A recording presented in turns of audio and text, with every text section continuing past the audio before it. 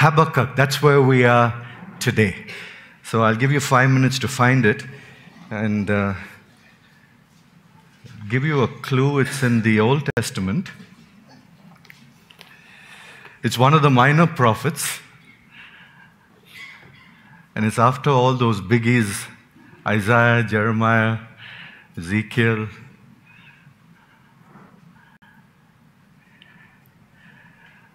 All right. Micah, Nahum, Habakkuk. You there? All right. Let's look at chapter 2. Chapter 2. And uh, the first three verses is where I want us to park today. I will stand on my guard post and station myself on the rampart, and I will keep watch to see what he will speak to me, and how I may reply when I am reproved. Then the Lord answered me and said, Record the vision and inscribe it on tablets, that the one who reads it may run. For the vision is yet for the appointed time.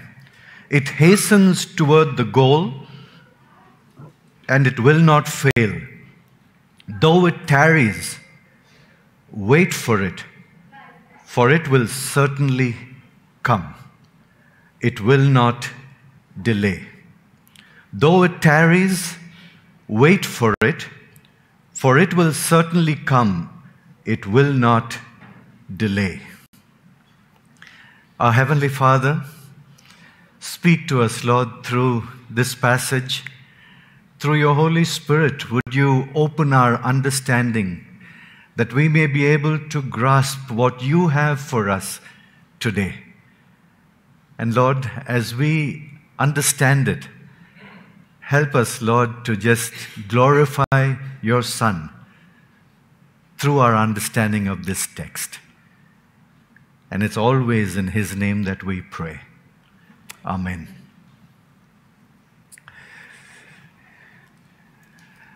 Prophet Habakkuk says, I will stand on my guard post and station myself on the rampart, and I will keep watch. I will place myself in the right position, and then I will wait for him to speak to me. Talking, of course, waiting for the Lord to speak to him. And then he says, I'm ready to listen. In fact, I brought myself into this place of isolation. I'm all by myself. I'm on a watchtower, ready to hear from the Lord. And then he says, How I may reply when I'm reproved. It's like he's already set himself up to be reproved. In other words, he's, he feels that he has done something that will bring reproof upon him from the Lord. What has he done? Well, if we look at the first chapter, we see that he's asked a question. He says in verse 2 of the first chapter, How long, O Lord, will I call for help and you will not hear? How long, O Lord, will I call for help and you will not hear? I cry out to you violence, yet you do not save me. Why do you make me see iniquity and cause me to look on wickedness? Yes, destruction and violence are before me. Strife exists and contention arises. Therefore, the law is ignored and justice is never upheld. For the wicked surround the righteous. Therefore, justice comes out perverted. This is what he has said to the Lord. He says, How long must I stand in the midst of all of this wickedness? Remember, Habakkuk was a contemporary of Jeremiah, right? And Jeremiah was the one who spoke for 40 long years, speaking into the children of Israel's ears, asking them to repent, to turn away from the evil that they had embraced. And except for a, a brief part when Hilkiah found the book of the law and gave it to Josiah. And for 13 years they followed it. That was all it was. They went back to their wicked ways after his death. And so Habakkuk stands in the midst of all of this evil and depravity. And he says, How long is this going to be?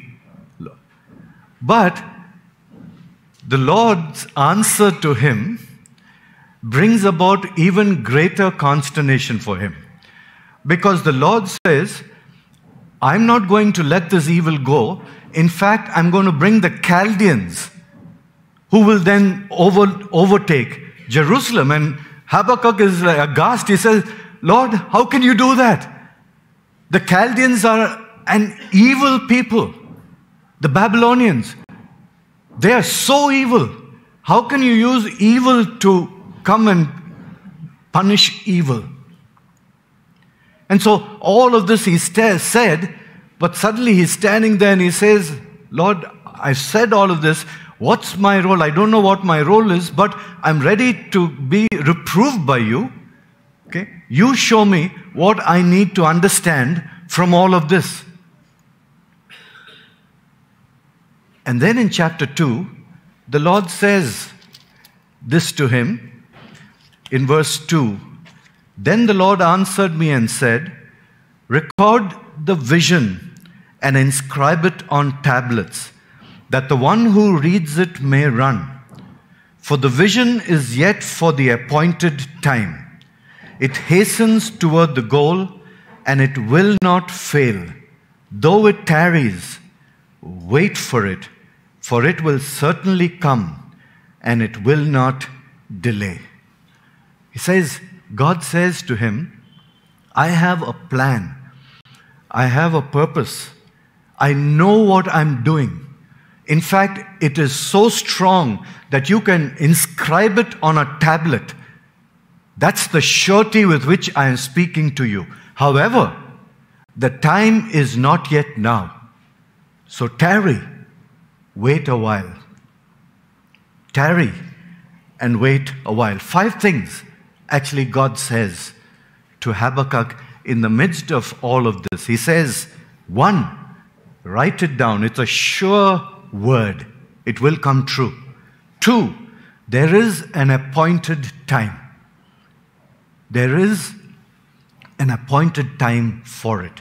Three, it will not fail. Four, it will tarry. And five, you'll have to wait for it. You'll have to wait for it. When I was reading this, I stopped and I said, you know, this kind of fits very much with our own lives right now, isn't it? Because you look at all that is going on in the world around us, and we see so much of evil. There's a prevalence of evil all around. Good is being overcome with evil. In fact, people who name the name of our God don't listen to the word of God which was the same then.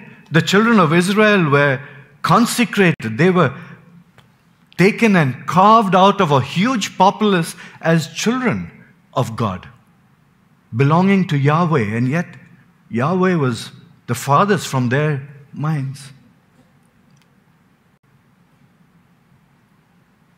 And so we look at this situation that we are in and we too can ask the question, Lord, how long? How long will this keep going on? Today, you, you cannot even tell the difference between truth and falsehood, isn't it? It's impossible. With all that's available in AI now, that's gone out the window.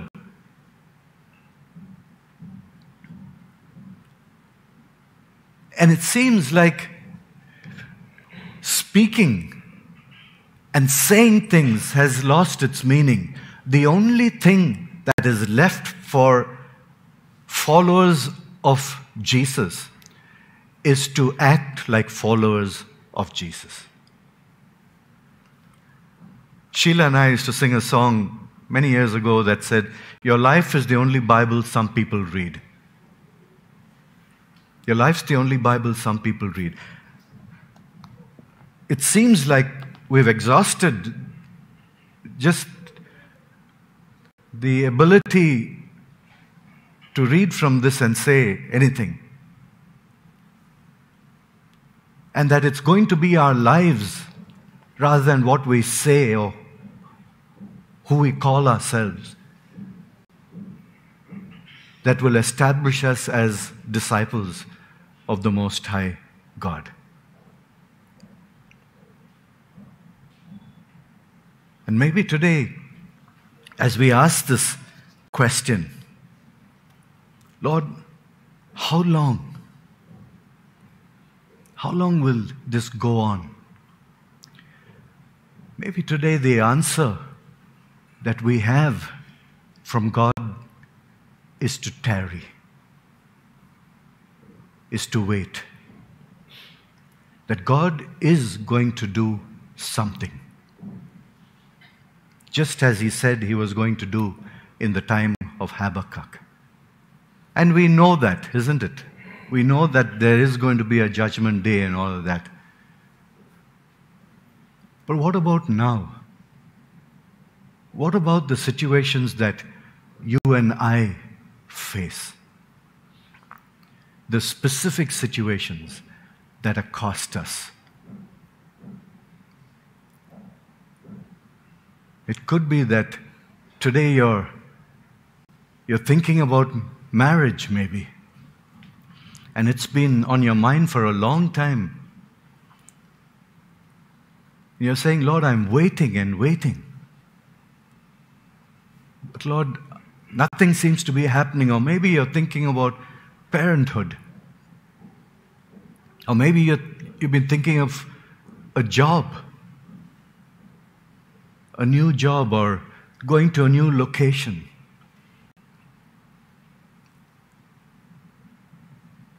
You're wondering and saying, Lord, how long should I wait in this position? I'm tired. It seems like I'm just treading water. How long?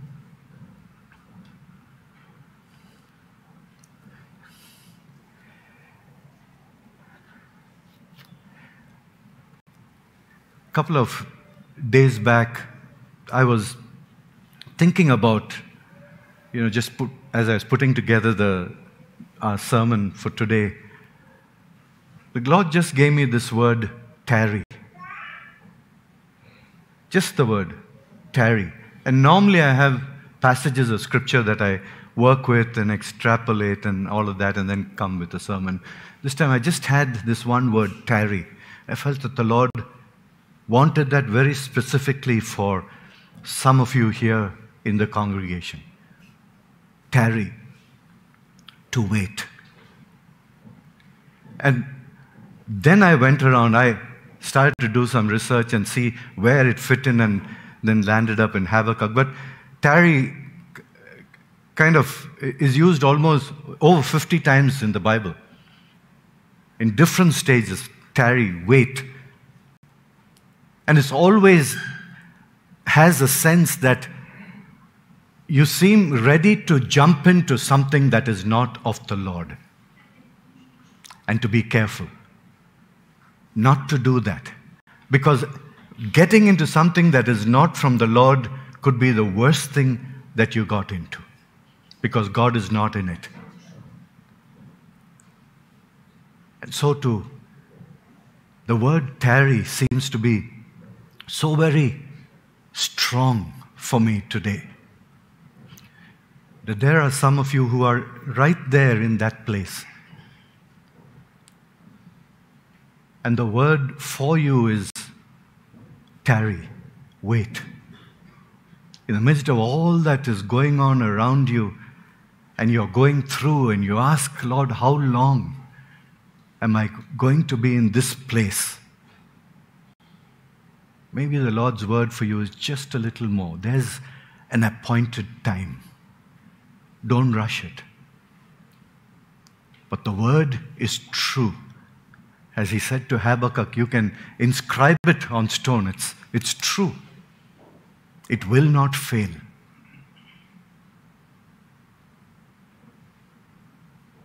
Often, well, We're not good at tarrying, are we? Tarrying is something that we have a tough time with. I see smiles all across. We all know that. To wait on something. We're a, a microwave generation. We want it yesterday, isn't it? We don't like to wait for anything. And so sometimes we don't even know, even as I tarry, what do I do? Because there's a, a knee jerk reaction when we say, okay, God, if this is what you want, then okay, I, will I'll, I'll wait. And then I curl up in a corner and I say, when you're ready, let me know.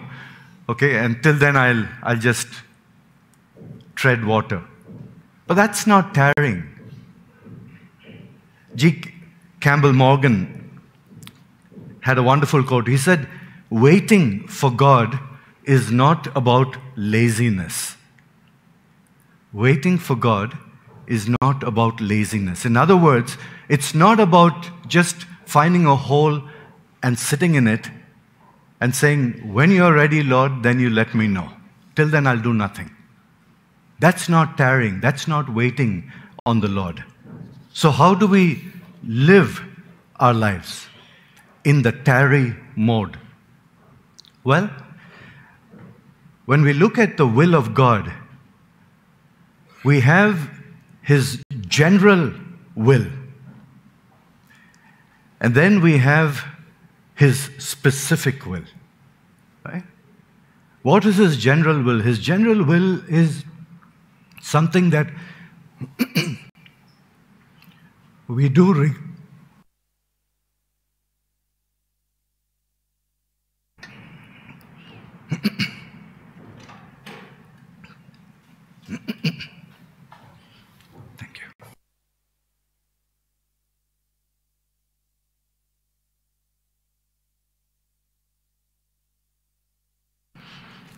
His general will is something that we do continuously.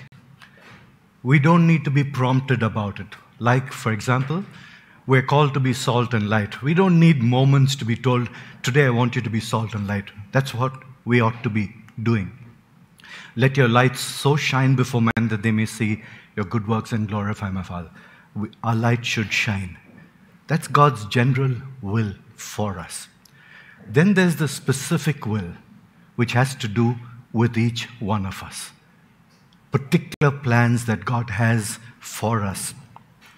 And that is the one that we are called to tarry on.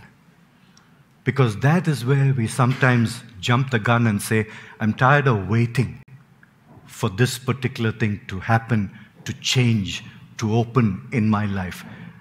I think I've got it figured out, now I'm going to do what I think should be done. And today, to that specific will, with some of you, it could be that God is saying, I want you to tarry. I want you to wait. You look at a, a cocoon, you see the inside the cocoon there's activity that is happening. It's not just sitting there. It may look like the cocoon is not doing anything, right? But inside, a larva is being metamorphosed into a butterfly. And if you happen to break that cocoon before it is ready, out will flop a butterfly that cannot fly. The nature of the wings of a butterfly is that it has to break the cocoon by itself. That's what strengthens the wings so that it can fly. It's the same thing, beloved with us when we try and help God a little and say, Lord, let me just take a few hundred yards first and then you can catch up with me, we tend to somehow uh, break down His plan for us. It's not the full plan anymore. And 99% of God's plan is not His plan. It has to be 100%. And so maybe today, that's what the Lord is asking of you. I want you to wait. But I want it to be dynamic waiting. Don't just curl up at home and say, I'm going to wait till God opens the door. But do the rest of the things that are part of who you and I ought to be as Christians. The general will of God. Be to your neighbors what a Christian neighbor should be. Follow holiness. Live sinless lives. Invite more of the Holy Spirit in your life. Look out for neighbors or people who need help. Do all that needs to be done under the general will of God for us. Somehow, look at your life and say, I've got to make this beautiful while I wait for God to show me what He wants to do. I'm always reminded of this story I read many years back about two men who were in a hospital on either side of a room on two beds. One bed, though, had a window next to it. And every morning they both would get up, and the man without the window would just lie in bed. And the one next to the window would get up, he would sit up, and then he would look out of the window and he said, Oh, today the sun is rising. And I can see just the people on the streets beginning to start moving around. The newspaper man is out, so are the milkmen getting out. And now the sun is climbing. It's noonday, it's getting hotter out there. And then as evening came, the ultraviolet rays of the sun are now coming in. The sun is beginning to, beginning to set, people are beginning to go home. And he, day in and day out, he would tell his other friend who was just so tired, he just would get up and lie in bed. He said, What do I do? Lying in bed here. And one day this man died, the one next to the window. And this man on the other side couldn't wait to take his place. And the moment they had moved this man's body out, he told the nurse, I want to get that bed. And so they moved him. And with great excitement, he got up and he looked out the window, and to his horror, he found that there was just a blank building right across. Every day, this man would create stories to make it exciting for the other man. He saw nothing but the blank wall.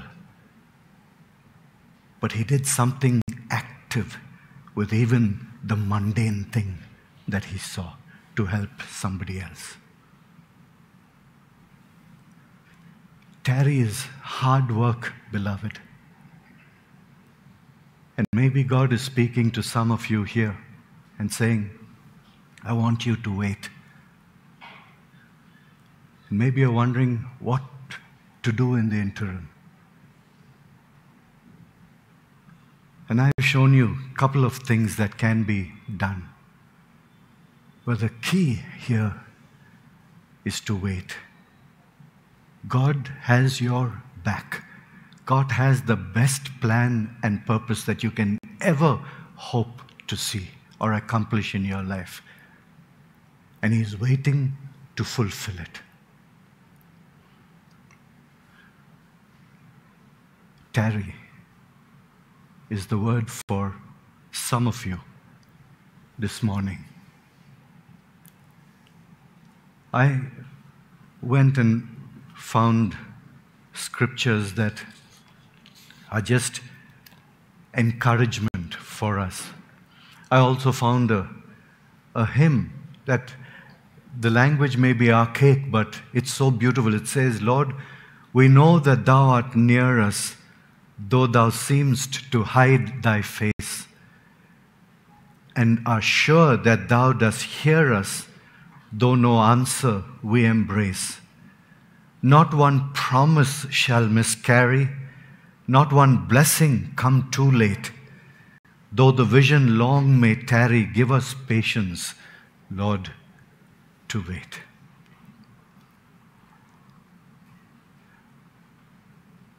Beloved, the word I have for us this morning is just that it's to tarry. And maybe you're weary today. You're tired. It's been a long haul.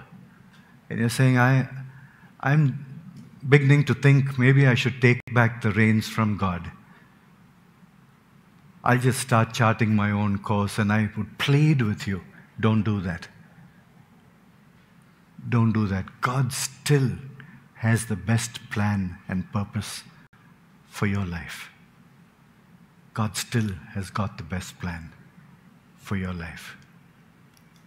And if the word tarry is sitting squarely upon your heart, beloved, then just tell him, Lord, I'm going to tarry.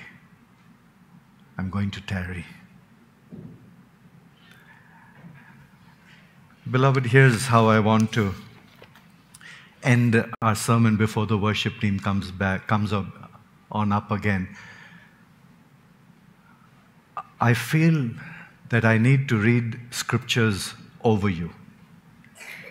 Just read verses from the Bible over some of you for whom the word tarry is something that God has spoken to you today. And if that's the case, if you came in here and during the course of this message you're saying, That's me, I was ready to jump in, do my thing, but I've heard God speaking to me and I'm going to tarry, then I want to read scripture over you. So I'm going to invite you to just, if that is you, just stand where you are. Just stand where you are. And then I'm going to speak these scriptures over you that they may be a source of encouragement to you. Would you do that? If this word is for you, would you please stand?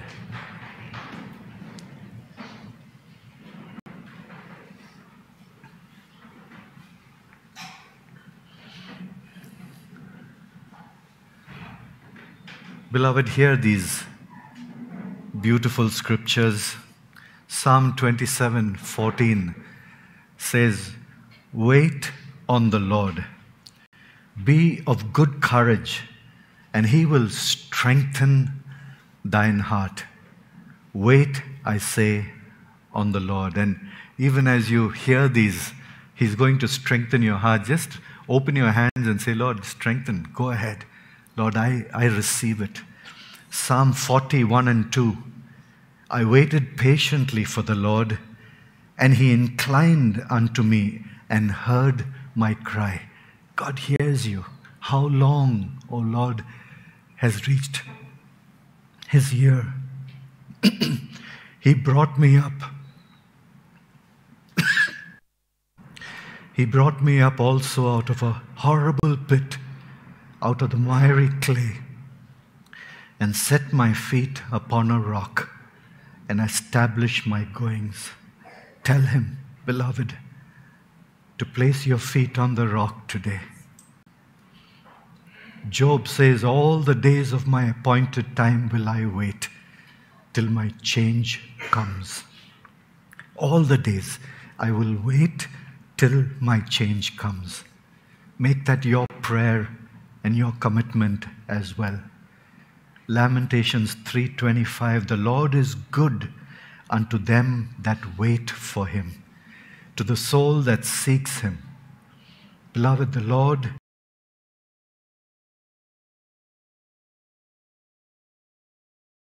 goodness. Ecclesiastes 3:11 he has made everything good in its time. He has made everything good in its time and then of course, these beautiful words from Isaiah that they that wait upon the Lord shall renew their strength. They shall mount up with wings as eagles. They shall run and not be weary. They shall walk and not faint. Soak into those words, beloved. Take them into your heart. You will run. You will not be weary. You will not faint because when the Lord says, wait, He will sustain you right to the point when He births the new plan. That's the way He works. He will sustain you. Wait on the Lord. Be of good courage, and He will strengthen your heart.